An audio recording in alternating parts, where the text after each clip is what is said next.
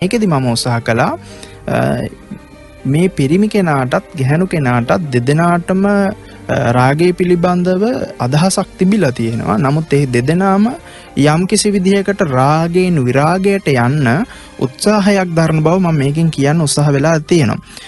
පළවෙනියෙන්ම මේකෙදි පිරිමි පාර්ශවයෙන් කියනවා සම්මුඛ පුන දිවසේ යම් පෙක්හතු මම බගිනීත්වං පස්සත්හ නයන විකාසං වින්දහත සුරභිය අතීතේ. මේ කියන්නේ එයාට හම්බ වෙනවා සමහරක් විට මේක එක කෙනාට එකෙක් විදිහට අර්ථ දක්වන්න පුළුවන්.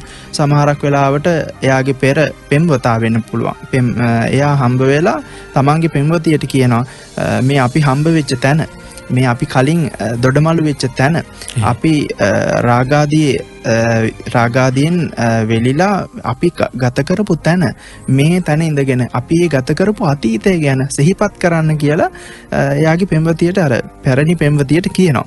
එවෙලා විදී පෙම්වතිය කියනවා කත්තචි නගර සමීපේ වත්තති සුපින අතීතේ මුච්චිත අනුසරමානෝ නාපි සුකං විහරත්තං මේ නගරයක අපි යම් තැනක ඉඳලා ඒ රාගෙන් මුසුවෙච්ච යම් කාලයක් ගත කලාද ඒ කාලය ගැන සිහිපත් කරන එක එච්චර උචිත නෑ කියලා ඒ පෙම්වතිය කියනවා.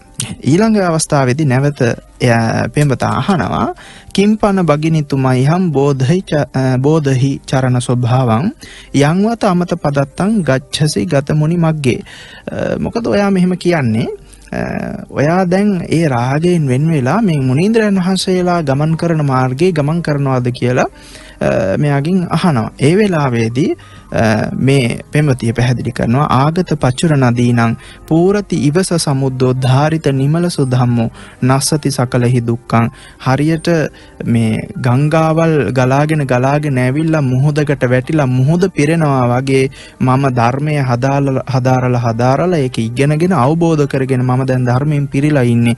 ඒ නිසා ඒ ධර්මයෙන් මේ ලෝකේ සියලුම දුක් නිමා කරන්න පුළුවන් කිය